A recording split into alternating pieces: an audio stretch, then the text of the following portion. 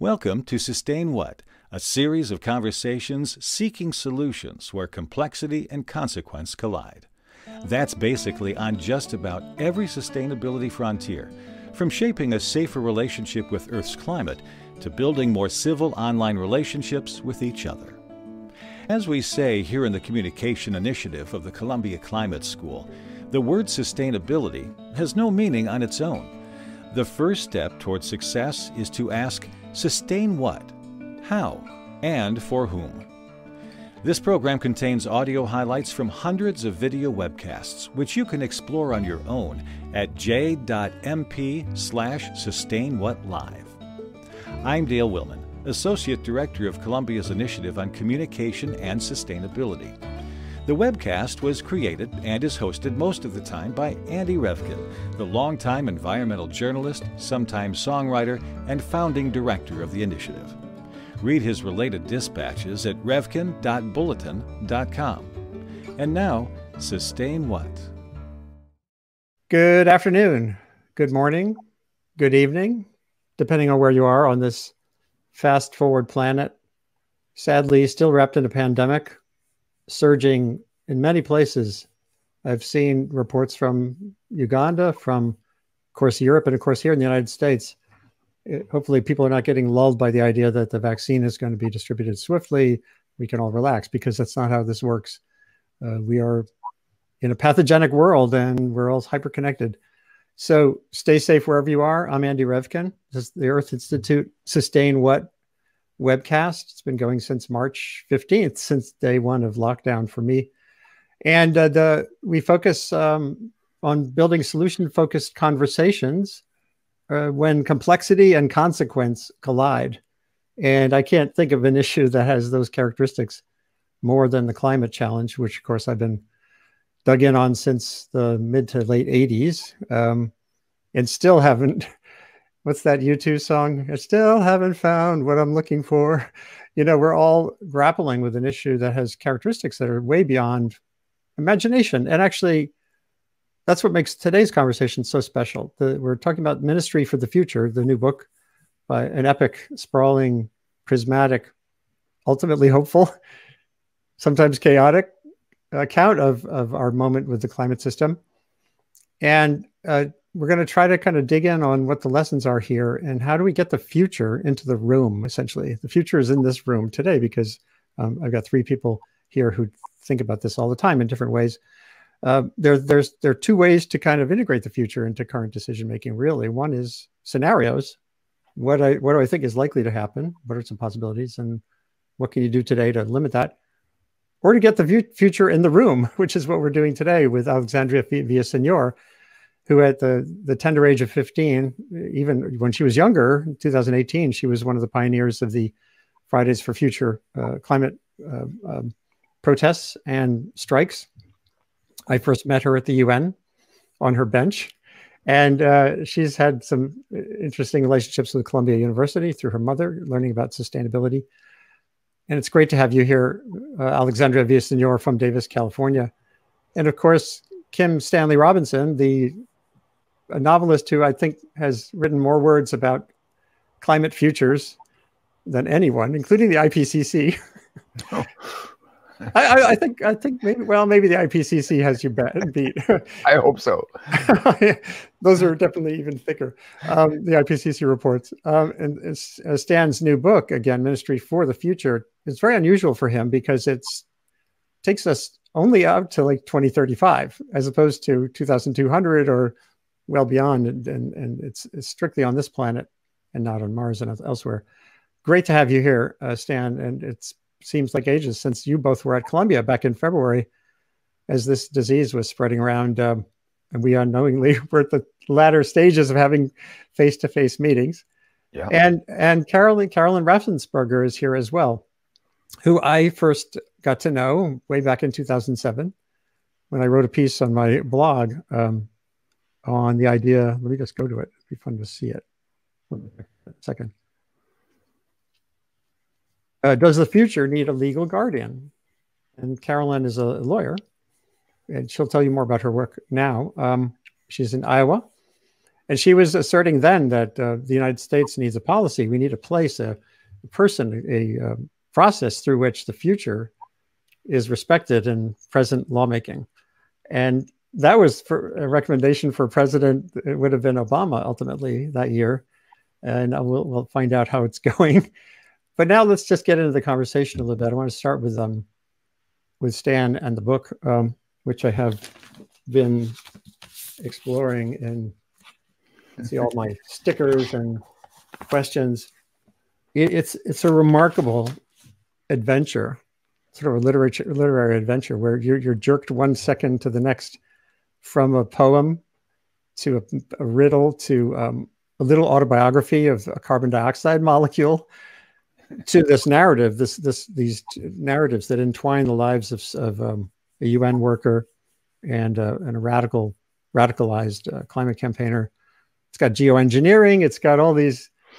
To me, what's interesting about it is it reflects that there's no single path to our climate future. Whatever, whatever you think your path might be, it has this. It has everything in it. It's got law, finance, geo, sucking the water out from under the great ice sheets so, so Kim, does that reflect? What does that reflect about your view of this puzzle? Um, is this not a simple single path? What's the what's the crux there? Well, a couple of things. Um, it's what sometimes gets called a wicked problem in that it's so interrelated with um, different factors that you describe that um, um there's no one strand that will lead you through the maze. And then the other factor is that I think that we are getting into um, desperate times where we really need to act fast. So that I've been saying it's an all hands on deck situation, so that any of the solutions um, that we might think of for dealing with climate change uh, they all need to be on the table and under serious consideration, including ones that are um, not in good repute right now. Um, but maybe they need to be reconsidered. That we're in an all hands on deck situation, and I wanted to describe, and you used the word the the chaos of the near future. It isn't going to feel comfortable. It isn't. There isn't going to be a single straightforward story. Um, and I organized it under some under this rubric of the Ministry for the Future, with with the idea that we need to be thinking about what's happening to the point of giving it legal standing. And I'll be very interested to hear what uh, Carolyn has to say about this, because of course, um, a legal guardian for something implies that that something has legal standing, and so, like in Wales, there's a ministry for the future for the country of Wales. Uh, Ecuador has uh, legal rights given to its uh, forest in its constitution. We see these precursors, and so what I wanted to do was try to tell that story in a in a fully international setting as a global um, uh, situation, and and go with the chaos and see what kind of story came out of it with all these forms that you're talking about. So that's more or less how it came about. Well, it it's uh, it, again, it's a remarkable achievement, and I'll be diving in many, many, many more times to to get at the crux of it. There was one line in the book that I think really kind of articulates, perhaps, maybe you can answer this. What I see is your hope. You know, sometimes fiction is just what it is. It's a story. Sometimes it's got some sense of a aspiration to change people, and I don't know where where you fall in, in, in that in those categories. You could talk about that. But this line uh, from one of these mini chapters, uh, which was one of the riddles, uh, I really liked. I, this is in the voice of the, the the the question is ambiguous. I happen in the present, but I'm told only in the future. I am history. Now make me good. That's the part that really felt interesting. You know, having written about this idea of a good Anthropocene or Mm-hmm. You, know, what do we do? Is, is this an aspirational point, or is that too simplistic? No, it is aspirational, but um, the, this notion of a good Anthropocene is important. It's a good phrase and needs to be spread widely because we are in the Anthropocene. It is uh, demonstrable by uh, different strands of scientific inquiry that um, uh, in in 25 million years from now, if they look back into the history of the Earth's geology, they are going to be able to see humanity's mark on the landscape, possibly by a mass extinction event, the fossil remains of that, and then by a whole bunch of other factors, including the, the nuclear explosions of the 40s and 50s. So, okay, we're in the Anthropocene, but that doesn't mean um, anything determinative as to whether it's going to be good or bad, and in terms of history for the biosphere and for humanity. Uh, although we are not good at it yet, the the project of, um, not so much planetary management, but planetary um, cooperation to fit ourselves into the biosphere in a sustainable and just way. Well, that's the project of the Anthropocene. And if we did that, then we would have a good Anthropocene. So it, it Anthropocene is not equal instantly equatable to doom for the biosphere, which I think is one of the kind of common uh, understandings of it. So I, I think uh, the project of a good Anthropocene is also what the Ministry for the Future is about. What would that look like? It wouldn't be simple. It wouldn't be straightforward. It isn't going to be success after success because we really are on a on a trajectory towards a mass extinction event, and getting off that trajectory is going to be difficult and uh, there's going to be a lot of opposition to it by other people that don't see the story the same way. Um, so it's going to be a contested process that in this book, I sometimes call it the war for the earth, which is another popular title like Ministry for the Future. It isn't quite right, but it, it, it captures some aspect of the situation. We are in, a, in an immense struggle that is material and um, philosophical for the fate of the biosphere. So that's really what uh, what what fighting for a good Anthropocene is all about. And uh, you know, this is a good segue to our other guests here, Alexandria and Carolyn, because there's a, this other concept in the book that you articulate pretty clearly. I was I was looking for my sticker, I couldn't find it. Um, which is that there are these people. Oh, there's a Hebrew concept of people who are guardians or safeguards of civilization but who are hidden and don't even know each other necessarily. They're just out there sprinkled.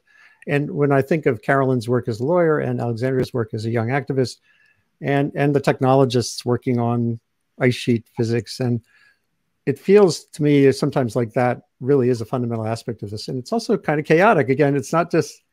It's like if you have enough people scattered around with enough motivation, things start to coalesce. Is that mm-hmm. part of what's in your head here? Well, I would hope so uh, say that there's 8 billion people we're not quite there but if you say that then you could also say that everybody has uh, one eight billionth of the responsibility. Um, and and it's not true that everybody has an equal amount of power but um, we are all agents in this world and making the history of 2020 2021 we make that history together by what we do collectively and individually so there is this individual component, and there are elements in nature where a part per billion is, um, you know, extremely effective as a as a poison or as a stimulant usually. But um, there are uh, um, chemical elements where in the parts per billion you have an effect, and so that's what I think history has to be considered as is something that right now everybody is connected um, more or less. So there are there are the immiserated, maybe two billion are disconnected, but they still know what's going on and they still act in the world.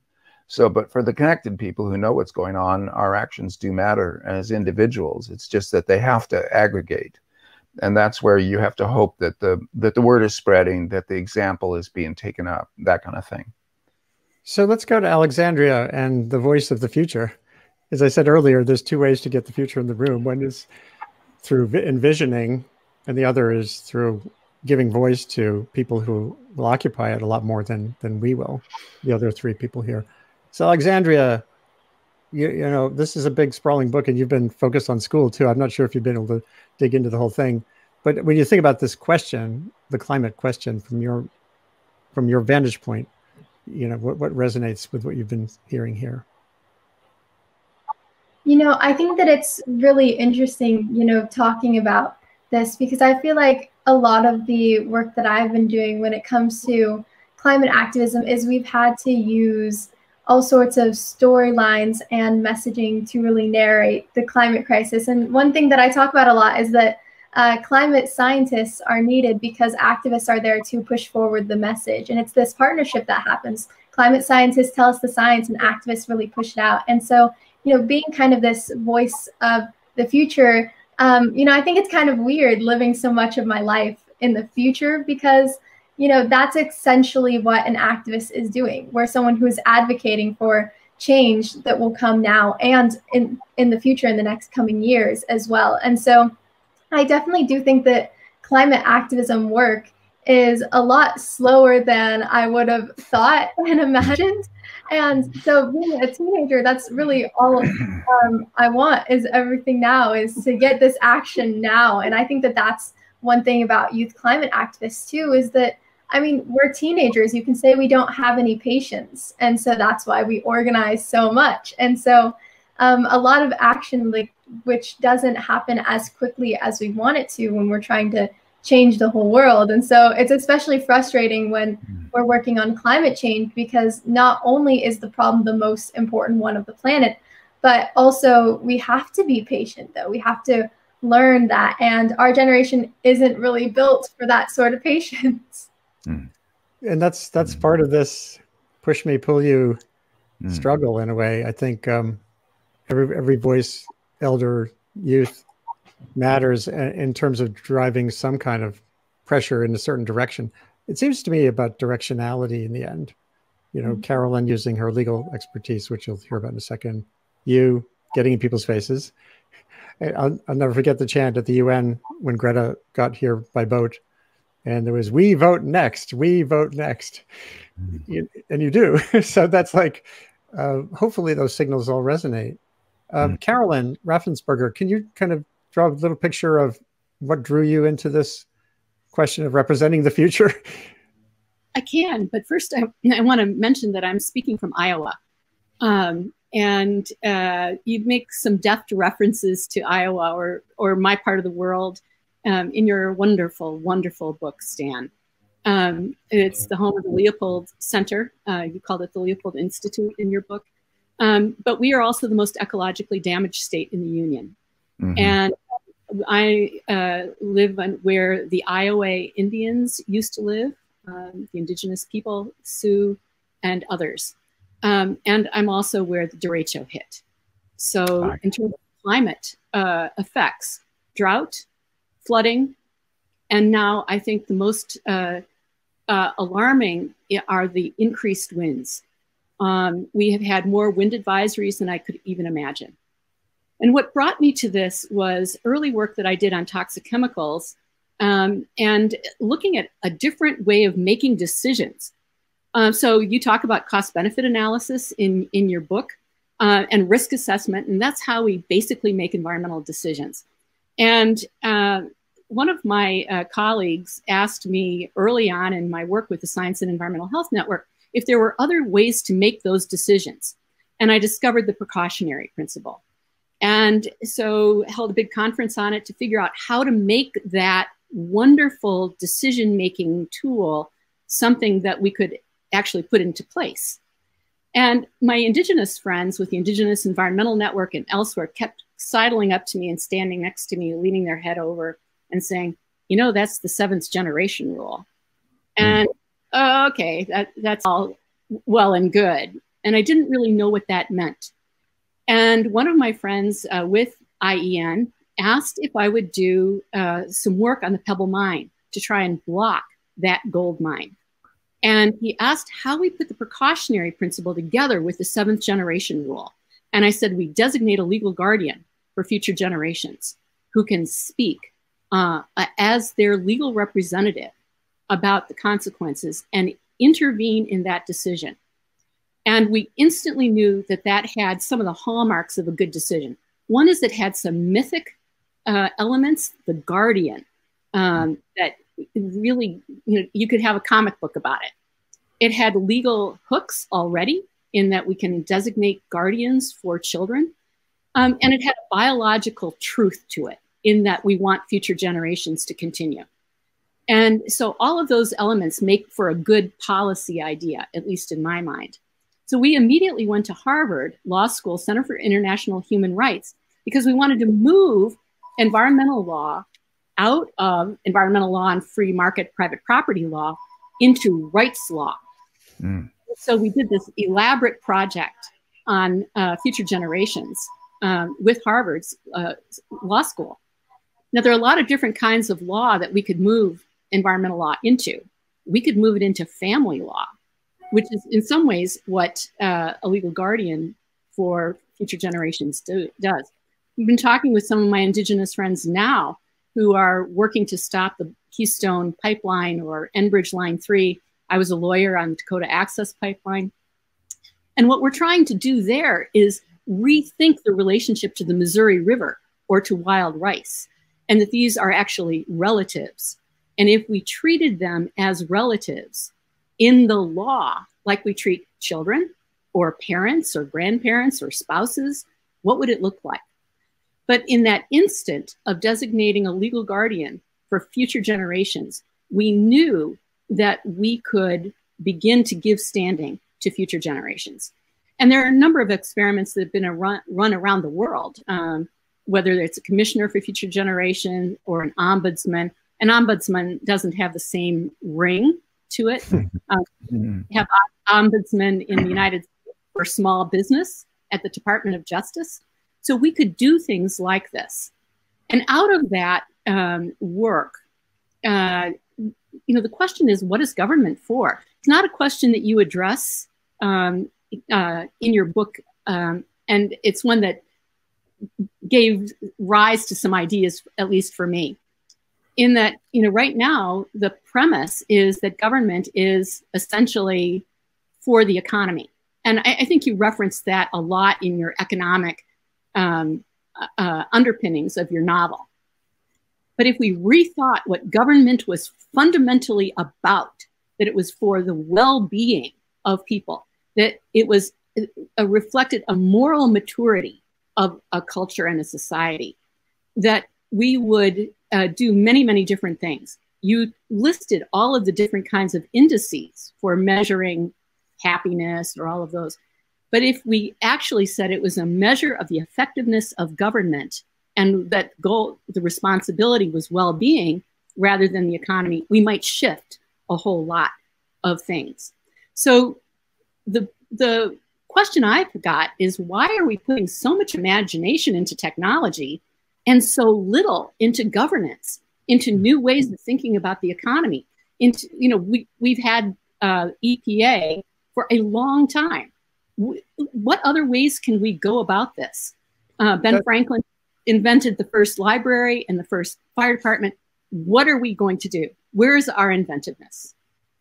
That's boy, you've hit on some great questions, points there. Um, the most important to me was that idea of moving the environment from sort of property law history toward to rights law. That's a fair, such a fundamental rethinking, and it relates to the reality of that we live in this system it's called the environment and it's not property or it just feels really rich and the question is i guess path dependency is a word that comes to mind all the time when i think about what alexandria said earlier about the urgency and then recognizing the world is hard and complex and and you're describing a, a process of breaking some norms that are so deep rooted it feels challenging that doesn't mean we give up on it um, i just wanted to reference one particular paper it was actually 2007 when Kelly Levin was still a graduate student at Yale. Uh, she wrote, started writing a paper, a series of papers on this, overcoming the tragedy of super wicked problems, constraining our future selves to ameliorate global climate change. You know, liberating the future by constraining ourselves today. And again, it feels so right, and it also feels so hard. Maybe, maybe uh, Stan, if you want to react to some of this so far, and then and then Alexandria too, would be great. Yeah.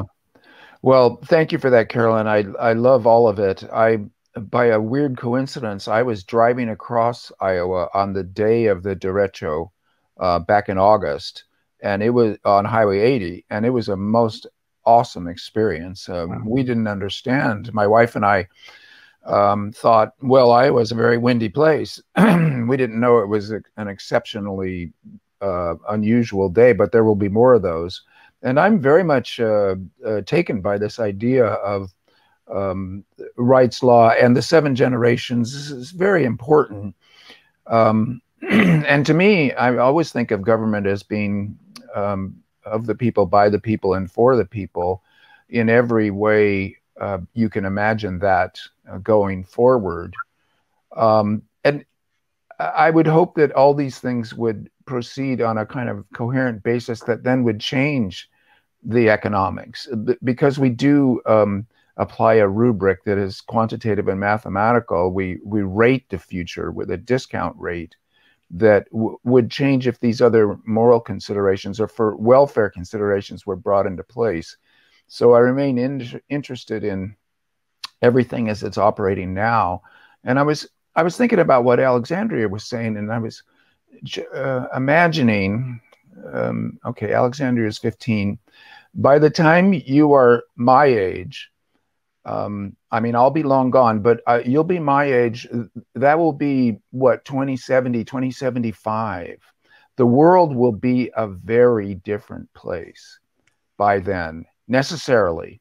And it will take that whole time, uh, your entire life will be in a period of disruption and change, necessary change to, to decarbonize fast enough to that the that the climate change impacts the biosphere um, damage won't be too severe and will you'll be handing on to the young people in your time uh, a, a, world with um, a, a, better looking future than the one that we're looking at right now. So there's a kind of bend of the curve of history into a better trajectory that will take the entirety of your lives. And well this is this means that being impatient about it is really impossible. It's a lifelong um, a struggle. And that seems to me is an exhausting thought.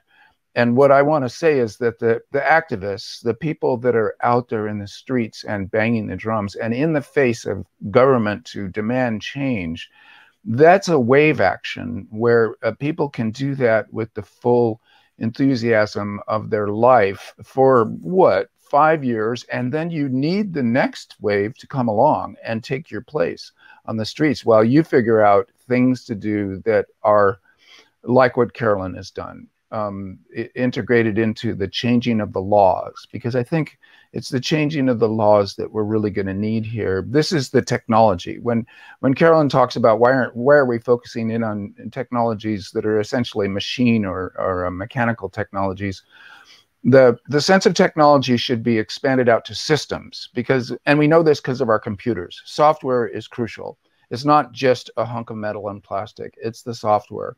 Well, software in society at large is the law and, and language and justice, uh, people's rights. So these are all technologies. It's just that they're software technologies and they do need rapid reconfigurations and, re- and upgrades uh, to, in order to make them more appropriate to our time. But um, what I find interesting to contemplate, and this is a kind of a science fiction writer thing that I'll end with, is is the year 2075 is going to be really, really interesting. And you'll be there to see it uh, uh, with luck. And that will be, um, you'll, my grandfather used to say um, to me, I had the most amazing life. When I began, we were in horse and buggies, and I just watched somebody land on the moon. So this was a rather astonishing lifetime, you know, 1900 to um, 1980. And you're going to have a similarly um, astonishing uh, life arc in terms of change in world history. It's inevitable because we're in such a dangerous spot right now. So that's a heavy uh, load to, to, to carry, Alexandria. When you what how what keeps you going every morning? I know you've been tweet, tweeting ferociously about the state of things these days. One thing that I want to just offer to you too is that social media, for all of its faults, seem to be a prime driver of the capacity of your all of your organizations, Earth Uprising Now and and the Fridays for Future hashtag activism, to organize across the world in ways that were inconceivable 10 years ago. So technology, at least information technology, feels like it can give you some outsized capacity on the that's on the upside. And then of course there are all mm-hmm. these challenges on the downside. So where does that leave you, you these days? Yeah, you know, first off, I quickly want to touch on some things that have been said here before, and especially to um, Carolyn's point as well, when you were talking about the seventh generation rule. I, I want to say that the youth climate movement, we see indigenous cosmology as having the answer, answers to so much of the climate crisis. Like indigenous communities' relationship with fire, especially here in California, because after this year of horrible wildfires and record breaking wildfires, our government is now realizing that prescribed burning is safer and takes better care of the land than our policies of fire suppression that we've had for decades. And so that's the difference in the relationship with the land, where the land is respected in a different way than our culture regards the land right now. Um, and I also quickly want to add too that to Stan, um, I actually wanted to say that I'm reading the Ministry for the Future. And I remember when my mom was taking some of her climate science classes, and she ended up teaching me about the temperature of the wet bulb as a 15 year old, my had. Mm. which is what Stan is writing about in that chapter with the heat wave. And so for over a year, I wouldn't let my mom talk about it because it gave me nightmares. So, but the first chapter in the oh book, a, the first chap- chapter of the book tells it in a different way that is more personal. So while I was like, no, mom, don't tell me any more about science, please. It was actually easier to learn about in a fiction and in a narrative than it was through hard science. And so my generation needs to create more of those narratives of the future in order to educate ourselves about the future you're talking about so that we can be prepared and we can adapt. And so, also kind of touching on the technology, social media has been so helpful to the movements all around. And especially when the youth climate movement, when we went into the lockdown, um, we started to really um, change our tactics, which and build our new structures and recruit and start training, building new relationships. But social media was the key grounding that kept our movement going because we would work online through social media, through videos, through op eds and petitions, and all kinds of digital activism and awareness campaigns. And so without technology, our movement would look very different right now. So that's that's a good jumping point to get back into the book because there's an element in the book that's different than Carolyn's work and different than your work. It's really hardcore terrorism. It's uh, the guy Frank and others who uh, the something of Kali, the the Kali group who uh, there's crash day when essentially all airplanes are demolished in a single event. Uh, there's the kidnapping of the key character Mary, and uh, it, it gets to a point of that feeling almost like if that isn't part of it, the other stuff wouldn't fall into place. So, so Stan, is that?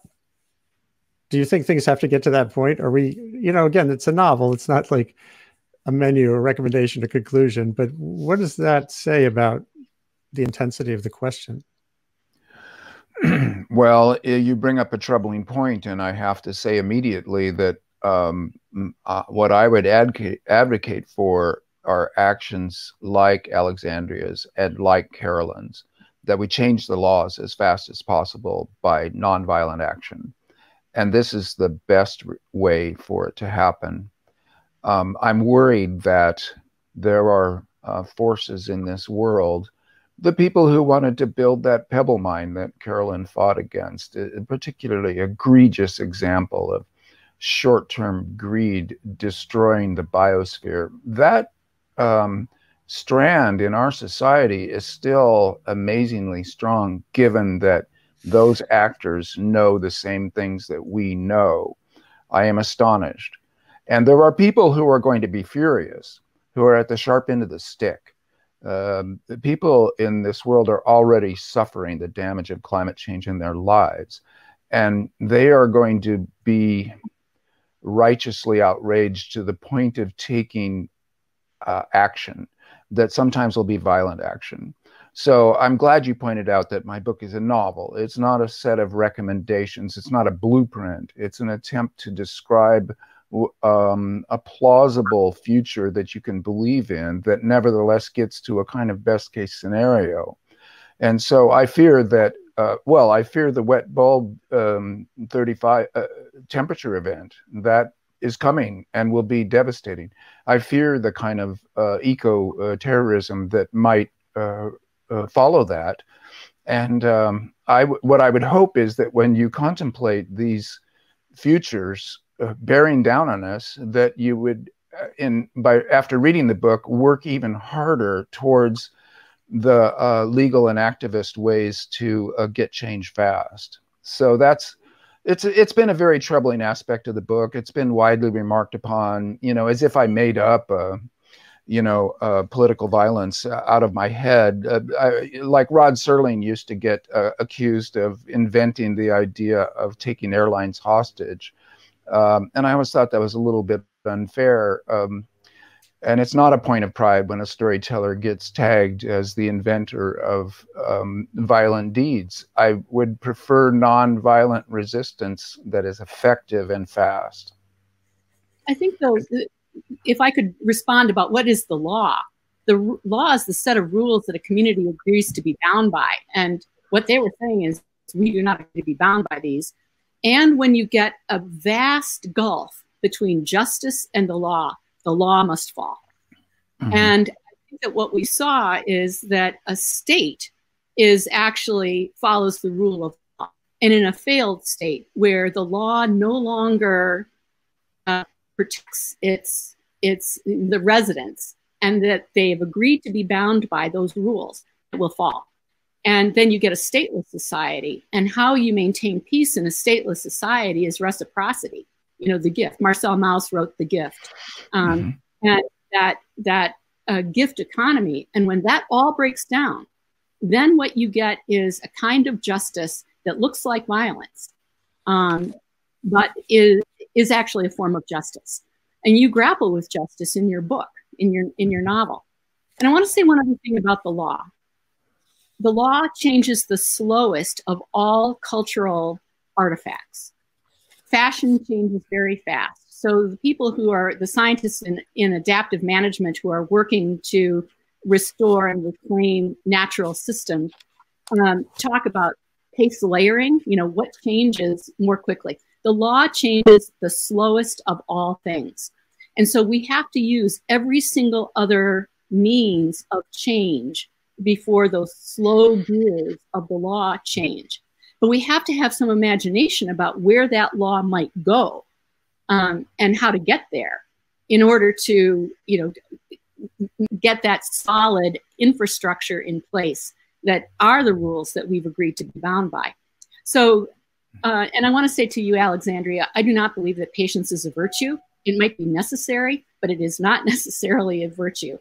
And all of the agitation that, you know, uh, around time is short is important. So you may have to have patience because, as we've all pointed out, this is a lifetime of work. Um, some of us have been at it for a very, very long time. And so get everything you need for the resilience for the long haul. It is a, a marathon, and you've got ancestors behind you who are supporting you and cheering you on. And when we are dead, we will still be cheering you on. That's a powerful call. You know, that gets at this idea of, um, um, oh, Michael Mann, the climate scientist, has a book coming out in January. And he and I have had some debates off and on about how to characterize the climate problem and what to do, but we agree very emotionally, powerfully on. I used to say, I started saying uh, 10 years ago, we need uh, urgency but patience. That's what I said 10 years ago. And then he, in his new book, he calls it, he says urgency and agency. Agency. And that means for your cohort, engagement in the power process, the political process. And that's, I think, a good aspect of what you're trying to do, I think. So, and I like that urgency and agency because that gives you the sense of there is this is a methodical path forward, but you got to have the voices in the room. And of course, with climate, the other voices are the those who are most vulnerable and least responsible for the climate problem to begin with, which is part of the dynamic that's in uh, Stan's book. This uh, the it's not a class war; it's a climate impacts versus responsibility war at a big scale. India takes on its own solutions you know, in a unitary way. And those dynamics are so interesting. Alexandria, over to you. Yeah, I. What was the question? Well, just about agency. I, I, guess I'm just. I think uh, Carolyn and I are both just cheering you on, essentially. But we also have to oh. facilitate you having agency, getting you in the room. Definitely. I think that this um, one thing that I've been focusing a lot on is, of course, education. And so um, agency is so important. And one thing that I found with a lot of young people, especially after um, organizing the climate strikes all throughout 2019, was that there was a lot of young people not getting involved in climate activism because they didn't really know why it was important. And so, with my organization, Earth Uprising, we're focusing a lot in this upcoming year on educating young people peer to peer in schools. And so, through that, when young people are educated, they feel passionate. And so, when they're passionate, making sure that we get them into those rooms and lobby their politicians and make their voices heard because the passion drives them. And so, I've actually have a couple examples of um, of what when people want young people to get into the room. Um, good examples are, for example, um, all the way back when the debates first started for this past election, um, Jay Inslee's campaign, when he was uh, running, ended up reaching out to me. And at the time, of course, I was still like, you're going to take a climate action. I was still very hard on him, even though he's the climate candidate. And so once he ended up, though, developing this, the most comprehensive climate plan we've ever had, um, I was very excited to see that the Biden administration ended up adopting Jay Inslee's climate plan. And so that was something that myself and a bunch of youth activists really pushed for and got our voices heard in it. And the other example of agency is this upcoming COP26 in Glasgow, um, which is basically where the homework of the Paris Agreement is going to be due for all of these countries.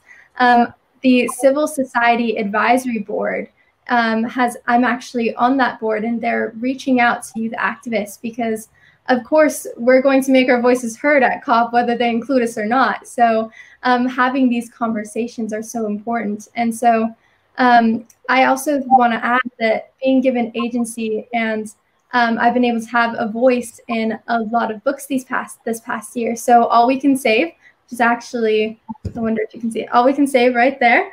Um, right. is came out this past year and it has a bunch of amazing women in climate and we're sharing our stories. And so i was able to have a voice in it as a youth climate activist.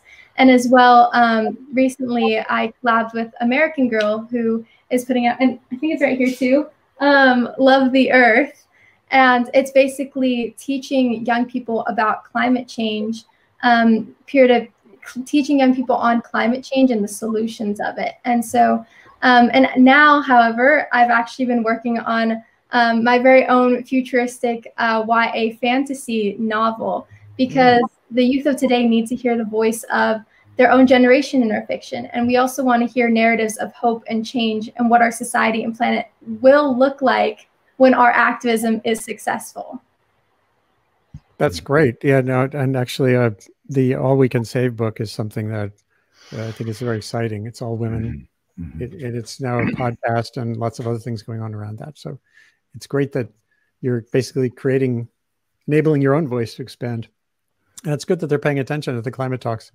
Way back in 1992 at the Earth Summit, there was a uh, young preteen, actually, she was 12, I can't remember, um, who gave a powerful speech that um, kicked things off. So that's making that even more part of the conversation is essential.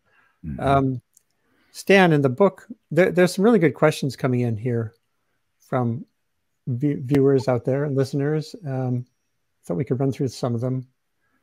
Well, Roman uh, Krznaric, who's been on the show, he has a book called the, the Good Ancestor, which just came out recently, and he's a he calls himself a public philosopher, which is kind of cool he I guess he gets at this. He says, should we be campaigning to grant legal rights to future generations? Oh, he talks about our our children's trust. Maybe Carolyn, you must know about that legal push as well under U.S. law. Sure, um, and and there have been similar sorts of lawsuits uh, around. Um, there are various strands of legal ideas that come into play with the lawsuits that our children's trust has brought. Um, one is that the atmosphere, the sky, is our commons, something that we all share, um, and that they have a right to uh, essentially a stable and, and healthy climate. And they jump over some of the legal hurdles around granting rights to future generations by locating that right in existing children. So they are both the face of the future and the present, where they come together. And uh, so uh, I've been working on uh, the legal framework for the rights of future generations with constitutional provisions, statutes, which can either uh, uh, reference the constitutional provisions or stand alone, and then legal mechanisms and in institutions that we can create that make this all happen. And we have elements of some of that in existing law. And I just want to say that the national parks are based on some of those same ideas. Um, in the act that created the national parks, it said that they were for present generations to enjoy and to pass on to future generations unimpaired. So we had a standard by which we pass them on unimpaired. And what a lovely idea that we get to enjoy all these things that we share the Commonwealth, the air, the water, our fellow travelers, and the wildlife. And then it is our obligation to pass them on to Alexandria and her great grandchildren unimpaired. What a fabulous idea. And our Children's Trust has been the legal vanguard in advancing some of these ideas uh, forward. Uh, there were uh, cases brought in multiple states as well as at the federal level. There have been some international suits um, with the same premise. So fabulous, fabulous work out there. There's, a, there's Ernesto Eduardo Dobraganes has been posting some really interesting comments. Um, this one gets at one of the tools that's a big feature in the book, um, financial models and uh, new kinds of currency. And he says uh, Jordan Hall always remarks the, on the importance of not allowing the markets to rule over the commons. And it sounds like in the book, in a way, um, Stan, you were you were inventing an economics that is constrained by the commons. Is that a way to put it? It, it's one way to put it for sure. And uh, because what we see in history is wherever there was a commons, there is enclosure. So the enclosure is privatization, as it's called in the neoliberal time. Uh, whatever was public becomes privatized, and that makes it more efficient, et cetera. This kind of neoliberal economic thinking is um, highly destructive to um, the the basic notion of the commons, which is that there are um, the biosphere is is the common uh, heritage and responsibility of, every, of everyone, and I love this that Carolyn brought in about national parks because now this has become a contested notion in the humanities. Is it a are national parks even a good idea? But passing along the biosphere unimpaired to future generations is surely a good idea. And if the national parks are an early precursor of that, then they are uh, a good thing to be defended. Um, so enclosure was so successful in the 18th centuries that you got the revolutions and I think that democratic government in France and America is the the virtual commons, is the the the re-insistence that the commons was valid and that democracy is is the idea of the commons when it was a landscape transferred over into the law, and then enclosure began to chip away at it again. This urge to privatize will not go away. And so the commons has to be defended as a concept uh, uh, year by year and law by law. Um, and and and the logic of it, you know, we really have been living for 40 years in the logic of neoliberal capitalism. And what I've been insisting on in my book is that we actually need a post capitalist political economy that values things differently, and that this does get reflected in both law and practice. And it also directs where the money goes and who makes the money and who controls its, its movements so that we all make a living. Right now, I think that profit, as currently defined, is basically an index of how much the biosphere and people have been exploited. If you can make a profit these days, you have only done it by exploitation of the biosphere and of, of people. So there needs to be another index that is a, a kind of welfare index. And everybody has to make a living, but that doesn't have to be rated by profit so much as by welfare. And this will be a different political economy. So that's what I'm looking forward to. I'm thinking of Alexandria in her old age living in a different post neoliberal capitalist political economy that is going to have to be uh, fought for in in in this coming century. It will be a day by day and year by year battle as we see in the news. And I, I, guess sorry, just to say that if we saw the commons as the underpinning of the economy, then we would think about it entirely differently. The road out in front of our farm is is a commons and our farm's value is that road that lets us get our crops out to the market. It's mm-hmm. uh, public water it's the atmosphere it's the roads and bridges and the uh, schools and the museums. And if we thought about that as the foundation of the economy and that government's responsibility was to protect the commons we would do an audit of the commonwealth and public health and that we have an obligation to you know protect it for present generations and pass it on to future generations unimpaired. It's an entirely different view of what government is about and mm-hmm. the relationship of the govern of government to the economy. Um, you know then capital can take its place you know over in, in the back seat. Mm-hmm. so i want to get if we're coming toward the end and by the way if any of you can go a little longer let me know. If, if we have to cut off hard at uh, at the hour let me know that too uh, there's a lot of people watching, which is great. Um, I guess this, I'm, I'm going to ask the optimism question. Um, and I'm going to, whoops, sorry. I'm going to take us back to Thornton Wilder.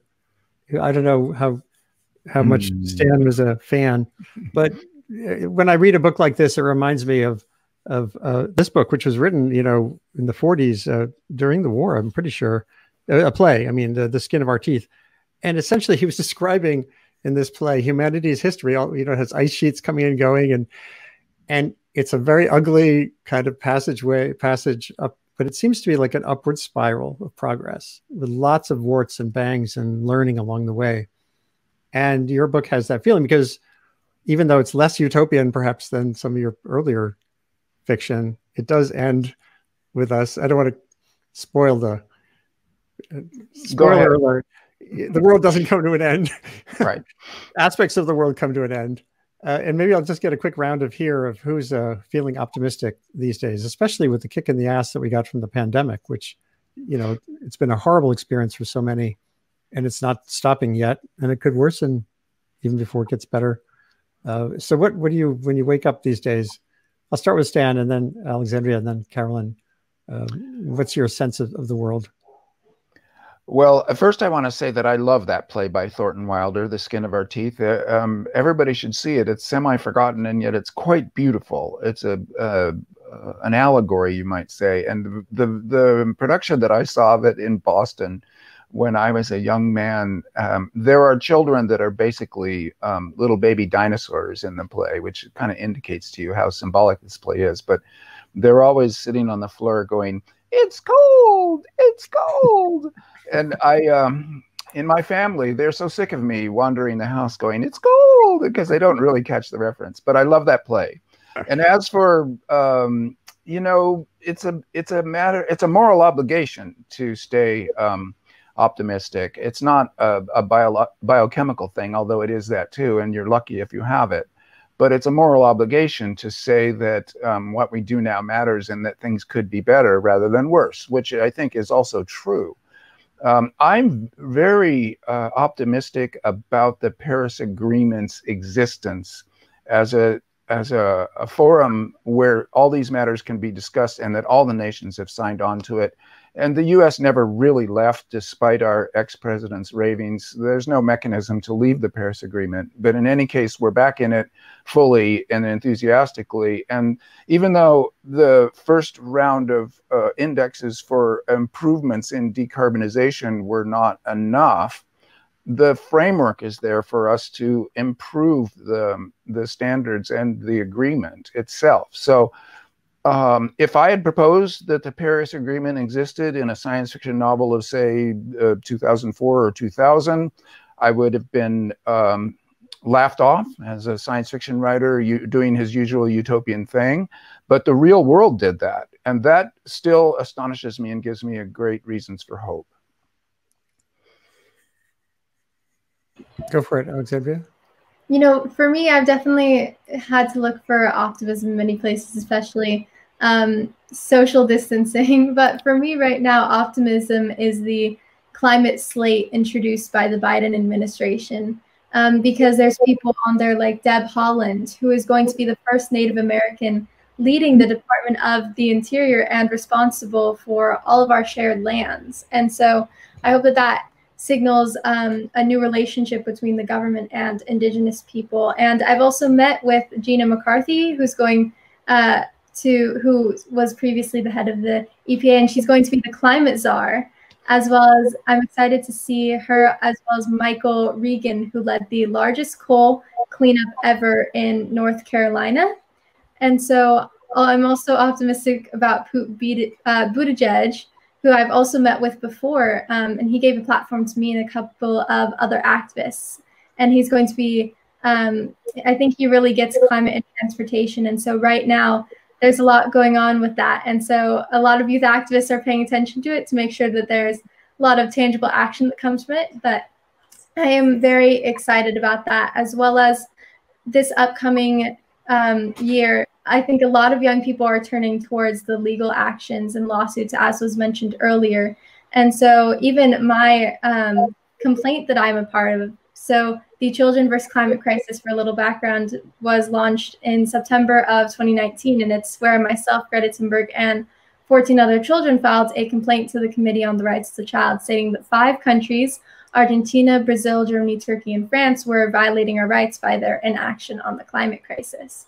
And so since then, um, the Committee on the Rights of the Child has um, filed our complaint as admissible, saying that yes, our rights are being violated. And so right now we're waiting for the five countries to respond. And since then, since there are so many other legal actions coming up from young people who are really angry about what's happening, um, so I'm also filing an intervention in a case that was filed by six Portuguese youth against 33 countries which is before the European Court of Human Rights right now. And this lawsuit also has been accepted by the court, and the 33 countries have their first response deadline in February. And so I think that I have a lot of optimism and hope coming from young people actually holding our governments accountable. That's great. Mm. Carolyn? I would um, I don't traffic in either optimism or hope, um, other than in the way that Václav Havel talks about it, which is that it's the deep orientation of the soul towards what is right. And I think, Stan, you um, describe that in some ways with your description of grace at the end of the book. And so uh, I want to sing the praises of the earth as the last thing that I say today, and that I stand with the earth and all of her species and all of the children and future generations and dedicate this work to uh, rewilding Iowa. There's actually a rewilding Iowa project um, to things like that. And I'm one grain of sand in all of this. And what is part of that Václav Havel sense of hope is that there are many, many grains of sand, and we don't know where the avalanche will happen. I believe or think that the earth also fights for herself. Um, I have seen situations where the gravel in a fabulous fen in Illinois was too, the gravel was too um, hard for them to mine that rare, rare wetland.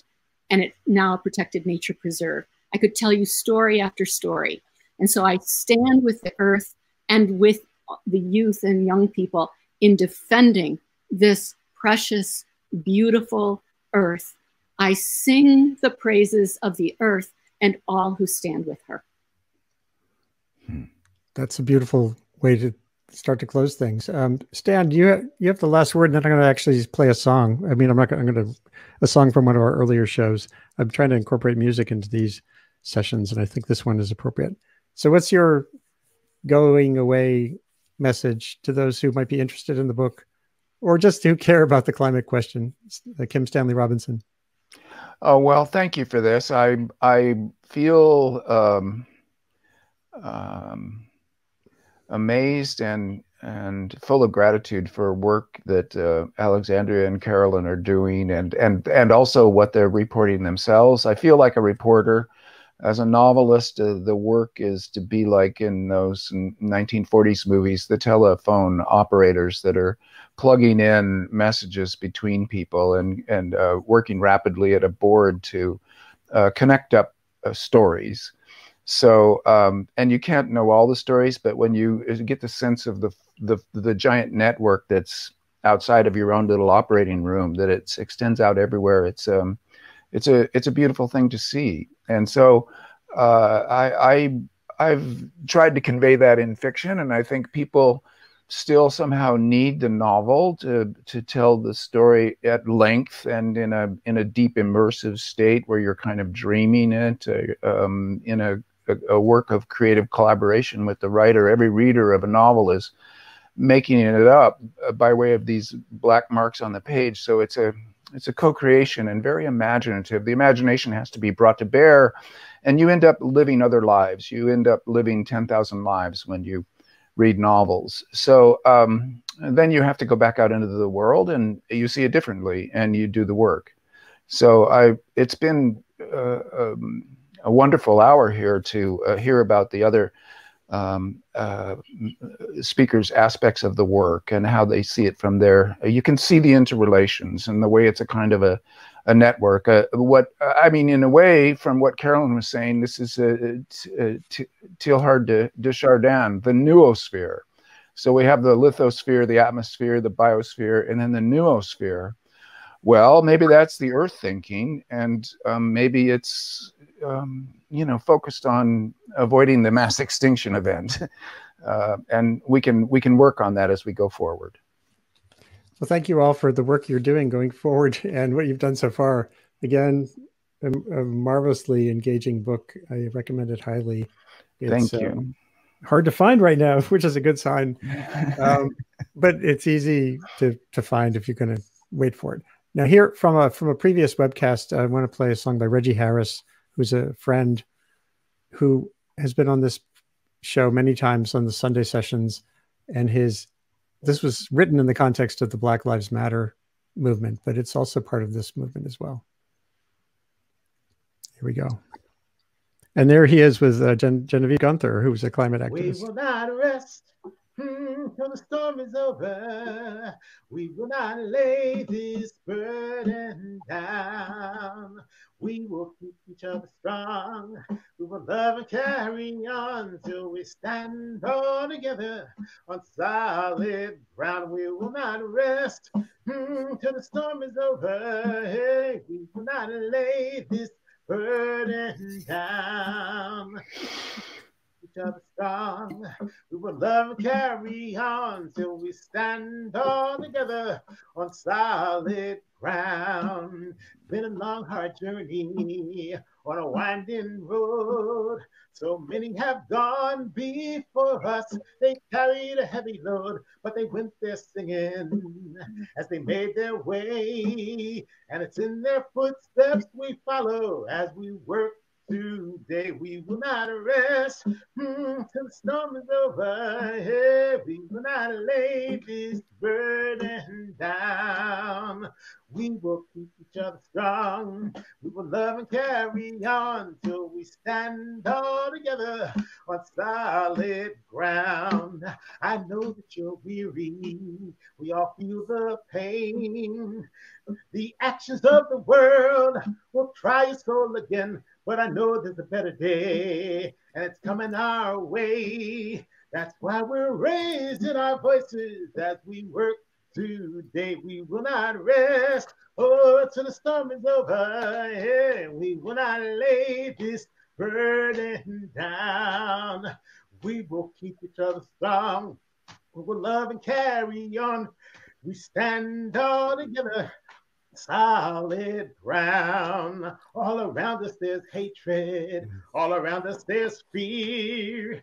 Violence touches our lives, and the message is clear. We mourn our martyrs. In our hearts they'll stay. Then we'll sing, We shall overcome, and go on our way. We will not rest Mm, till the storm is over, yeah, we will not lay this burden down. Yeah, we will keep each other strong. We'll love and carry on till we stand all together on solid ground. Till we stand all together on solid ground. Wow. There you go. Wow. It was a very special moment. And uh, this is a very special moment, too. So thank you all for being with us today. Um, Kim Stanley Robinson, Carolyn Raffensperger, and uh, Alexandria Villaseñor. Have a good holiday stretch. Uh, let's hope for a better 2020, 2021. And it's the beginning of a new decade here, uh, crucial one. Let's, let's envision that that 2035 Great Heat event maybe doesn't happen. Right. We can work for that. Thank you again for being here today. And share this anybody when you're when we're done. You can share this live or, whatever link you've been watching on becomes the archive show. This is the last pre-holiday session. I may do one or more, one or two more before New Year's. Uh, not quite sure. It's been a great adventure so far on sustain what. Take care. Stay safe. Connect from a distance. Thank you all. Thank you, and yeah, thank you, Andy. Thank you all. Thank you for listening to Sustain What, a production of the Initiative on Communication and Sustainability at Columbia University's Climate School. If you like, send your feedback or ideas for future shows to j.mp slash sustainwhatfeedback. Thanks again for listening. Stay safe and build a better world.